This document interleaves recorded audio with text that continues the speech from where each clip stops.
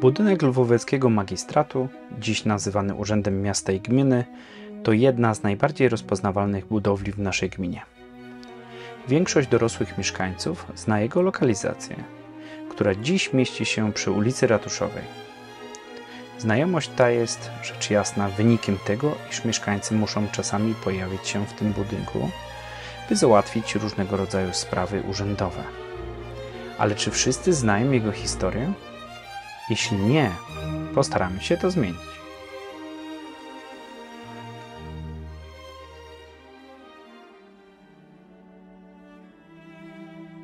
Rada Miejska i Urząd Burmistrza znane są od początku dziejów miasta Lwówka. Sędziwój z Ostroroga, założyciel miasta, dwukrotnie lokował je na tzw. Tak prawie magdeburskim, to jest w 1414 i 1419 roku którego jednym z założeń było powstanie tych instytucji. Jednak w początkach lwóweckiej przestrzeni miejskiej inaczej kształtowała się ich rola. Były one wówczas organizowane przez i zależne od dziedzica miasta. Do 1833 roku Lwówek był miastem prywatnym. Dopiero w XIX wieku radni miejscy obierali funkcję w jakimś stopniu z wyboru demokratycznego. Nie jest znane pierwotne miejsce zebrań ówczesnej Rady Miejskiej. Być może zbierała się w jakimś specjalnym budynku w przestrzeni miejskiej lub na terenie dworu. Historia obecnego budynku urzędu rozpoczyna się około 1892 roku.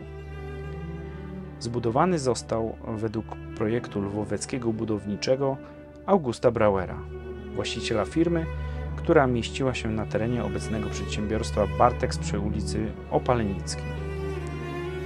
Poza projektem zajął się także wykonaniem budynku, który rozbudował w 1907 roku oboczne skrzydło. Jak czytamy w aktach Wojewódzkiego Konserwatora Zabytków w Poznaniu, ratusz ma skromne cechy historyzujące. Rzut budynku jest zbliżony do litery L, Starsza, frontowa część budynku została wzniesiona na rzucie prostokąta w układzie konstrukcyjnym podłużnym dwutraktowym.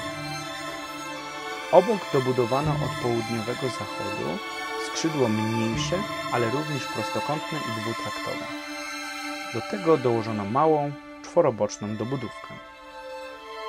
Ratusz zbudowano w zwartej zabudowie miejskiej. Od wschodu przylega do niego dom mieszkalny. Budynek jest podpiwniczony, korpus i piętrowe skrzydło posiadają poddasze, a na parterowej dobudówce znajduje się taras. Bryła nakryta jest dachami dwuspadowymi.